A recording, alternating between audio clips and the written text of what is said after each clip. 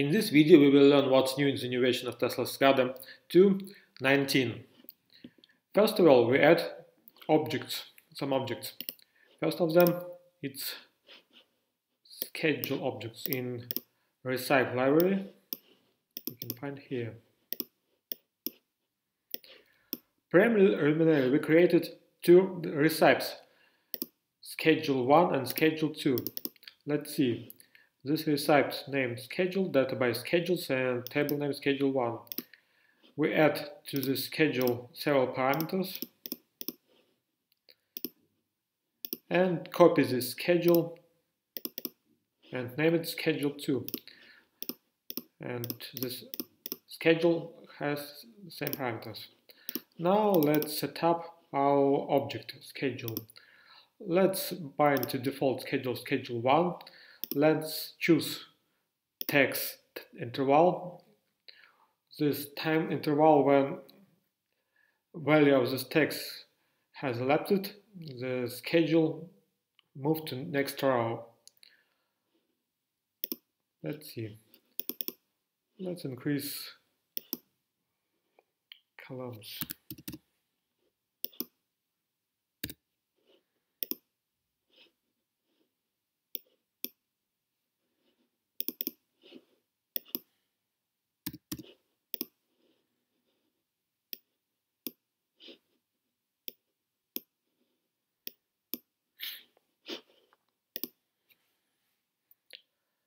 Let's start.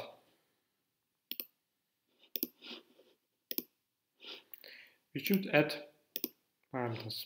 For example, first speed example.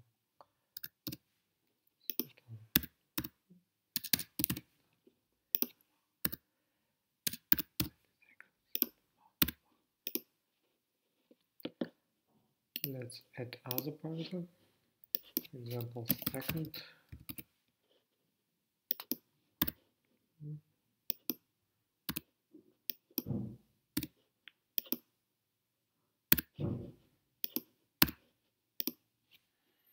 And let's add another set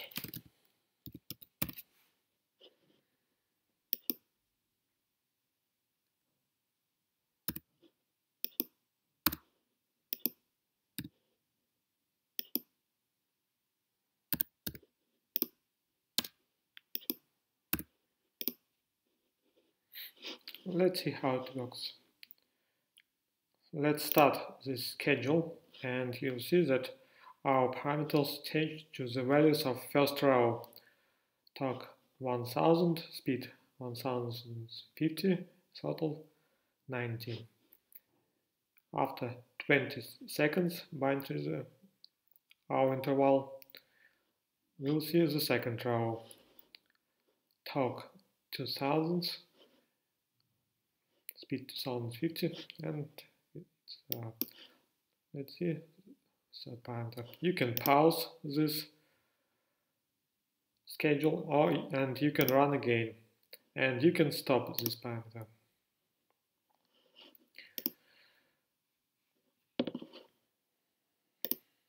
Also we add another object called parameter table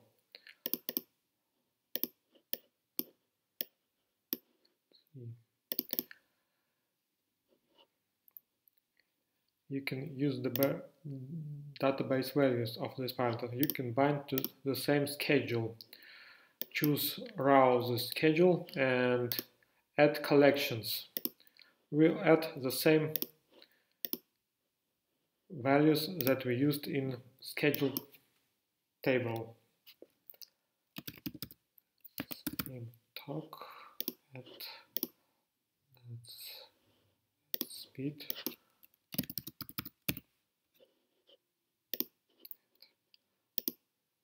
choose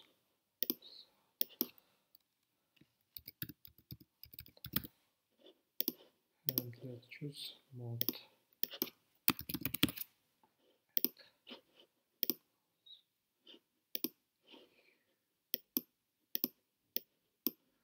let's increase width column width. Example.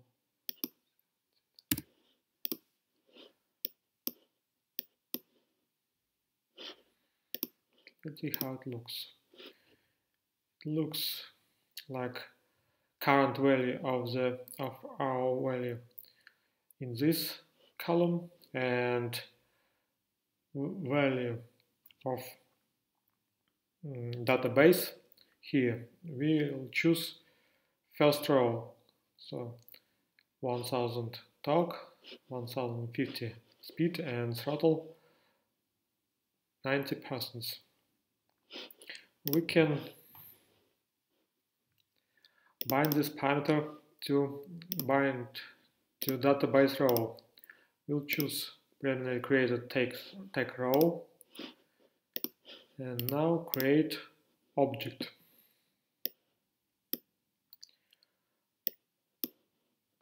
To change this tag. For example we choose selector. Let's choose selector row and add some new row some new value.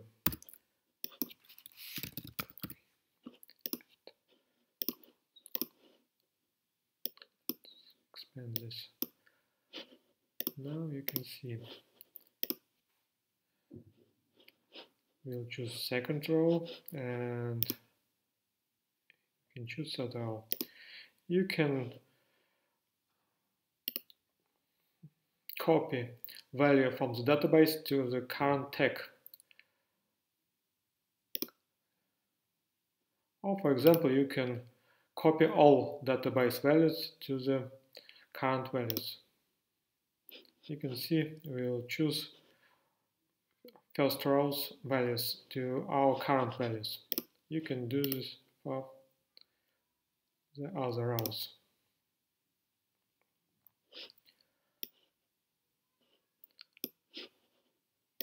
Also, in the new version, we have possibility to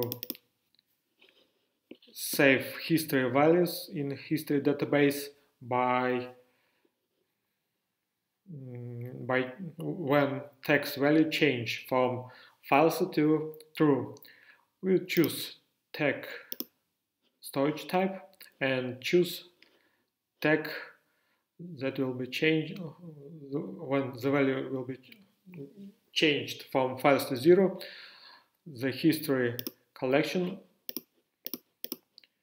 will be saved in history database. Let's bind this tag to the button.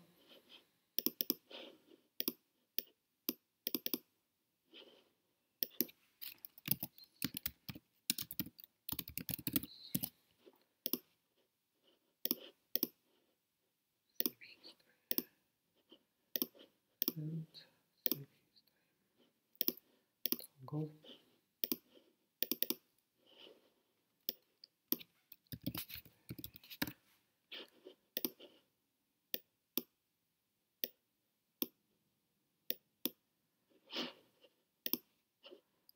Let's see.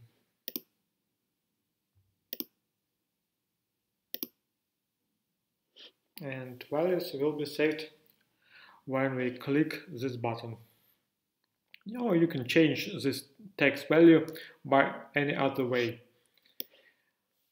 in controller or in script value. Okay. Also in this version we've made some improvements. We had possibility to group text in some groups by server name or by some parameter name or by some location name of the devices that contain this text. For example, we add new server and you can move this tag by drag and drop operation or you can choose here group for example you can move text here or you can copy by drag and drop or by context menu. You can see the stack here. Also, we made possibility when text name is changed, all objects that contain this text, the properties of the objects that contain this text will change this value. For example, we renamed this tag to save history 2 and see our indicator changes name and control property also change. Also, we have possibility to choose text by the tree, the tree of text. It's more comfortable. Also, like in previous versions, you can choose tag by typing its name in when checkbox when combo box in focus.